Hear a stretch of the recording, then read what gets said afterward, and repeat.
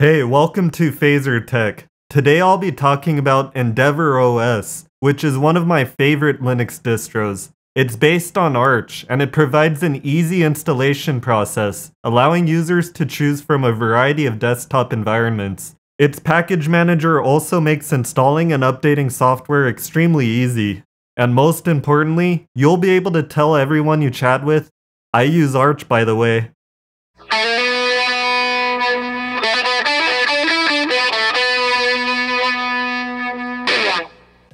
Now, before I go into the installation guide and show how to use the package manager, among some other tips I'll be showing, let's first talk about why you'd want to use an Arch-based distro, and also talk about the cases where you wouldn't want to use one. Basically, the main advantage of using an Arch distro is that you get access to the latest software and the latest Linux kernel. This translates to better performance and generally better security, so if you're a power user who demands the best performance out of their system, you'll probably want to go with an Arch-based distro. There are a few other alternatives to Arch if you're a power user looking for a cutting-edge distro, such as Fedora and OpenSUSE. However, their package managers are much different, and personally I prefer Arch's Pacman. Also, there are several other distros based on Arch, the most popular one being Manjaro. But I feel Endeavour OS is the better choice because it's closer to Vanilla Arch and it doesn't hold back certain packages like Manjaro does. So now you might be wondering, why wouldn't someone want to use a cutting edge distro such as Arch? Well, the answer is reliability. Using the latest software also means dealing with the latest bugs. So if you're planning to run a server or need a mission critical system where there's no time to manually fix something in the event of a bug, then you'd probably want to go with another distro such as Debian or Ubuntu Server. Personally speaking, I've rarely encountered that many bugs using an Arch-based distro, and I think it's a problem that's widely exaggerated. So now that's out of the way, let's finally jump into the guide.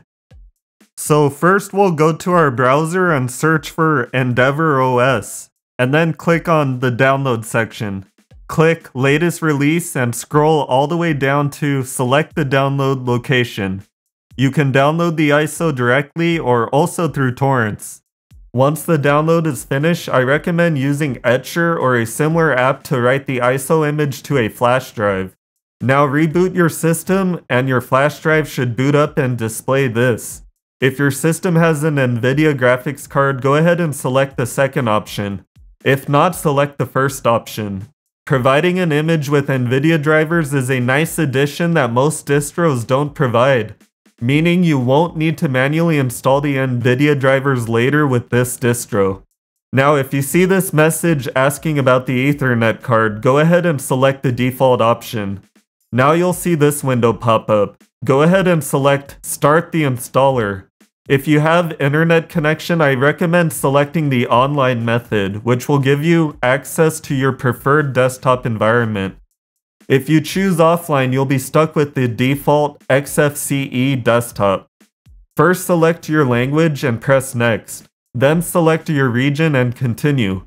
Now select your preferred keyboard setup and click next.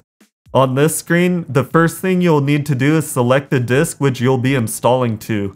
If you already have an operating system on the selected disk and you want to keep it so you can dual boot from a single drive, you can select this option, install alongside. But in most cases, you'll probably want to erase the selected disk and use the entire thing for the new operating system. So I'll select erase disk. If your system has a large amount of RAM, for example 64 gigs or more, then you can get away safely with no swap. But for most people, I recommend that you add a swap. So I'll select swap to file since that's the easiest option, if you don't need hibernation. Also, most people will want to select ext4 as their file system, unless you're an advanced user who can take advantage of the other file systems. Now click next and you'll be able to select your desired desktop environment. My personal favorite is KDE Plasma, so I'll be selecting this one, but feel free to try others if you're curious to see what they look like. Also, I'm planning to do another video soon that will explore some of the features and customizations in KDE Plasma. So if you're interested, stay tuned for that. Now we'll be given the option to install some additional packages. For most people, the default selection will be fine. The only thing I want to point out is if you have an HP printer, you'll want to select that box. On the next screen, go ahead and type your username and select your password. Then click next and we're finally ready to install. So click install now. This might take a while to finish, but once it's done, go ahead and select restart now to finish. After it reboots, log in and you'll be presented with this screen. The first thing we'll do is update the mirrors. So select this first option and choose which location is closest to you. You can select more than one if you want. Click OK and it will run some tests. Once it's done, click Save and it will ask for your password. There's nothing more we need to do with this screen, so I'm going to select Don't Show Me Anymore. The desktop layout is sort of similar to Windows. If you want to search for a particular app or access the settings, click the button in the bottom left corner. This is where you can shut down and restart the system as well. But as an example, let's say you wanted to change the display settings. Simply type display and click it. We can go back from here to access other appearance settings too. For example, if you prefer a dark desktop, you can switch to it here. Now let's go back from here and access workspace behavior. I recommend changing a setting here in general behavior. By default, Files and folders will open from a single click rather than a double click. To change this to the traditional double click, simply change this setting from opens them to selects them. A few other settings I would change are the automatic lock screen time, which I keep disabled. Also, check out the energy settings to prevent your monitor from going to sleep too quickly. I encourage you to explore the other settings as well to customize your experience.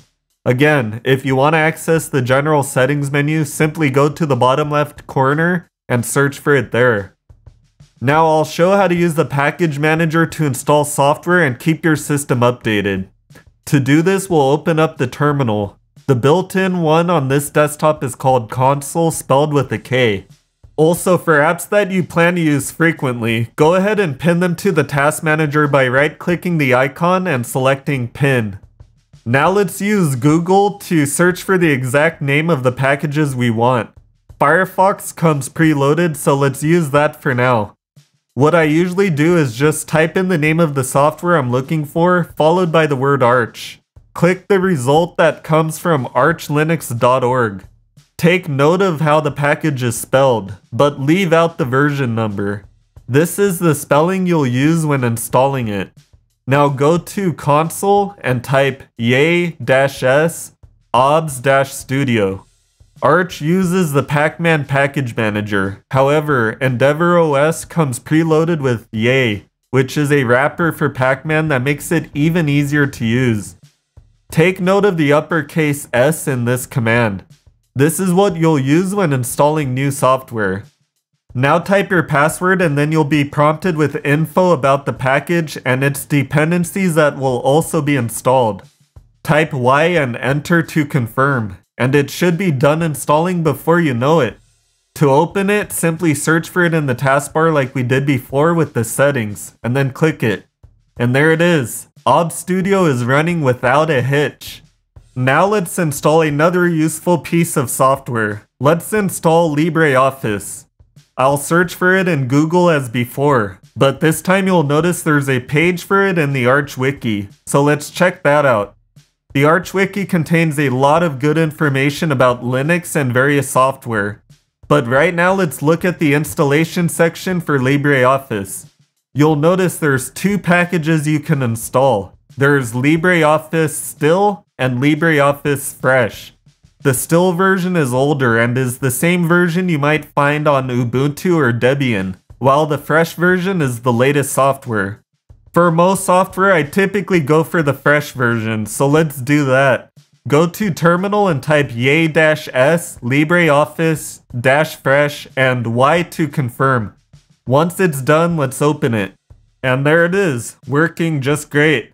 Now quickly I'll show how to uninstall and remove the software in case you ever wanted to do that. It's just like the command when installing it, but instead of including the dash s tag, simply use the dash r tag. Now confirm. So that's how you would uninstall software. Now before I wrap up the video, let's quickly look at how to update the software and the system.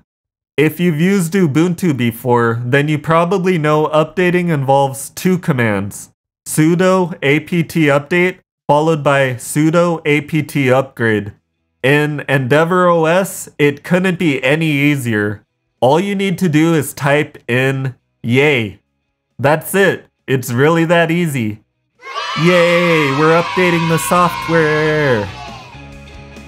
Well, that's all for today. If you enjoyed the video, please like and subscribe to help the channel grow, and also to get notified when new videos come out. I'll be focusing more on Linux in my future videos, and we'll also be doing tutorials on Raspberry Pis and Python programming. So if you're interested in learning these things, please stay tuned. As always, thanks for watching, and I'll see you next time.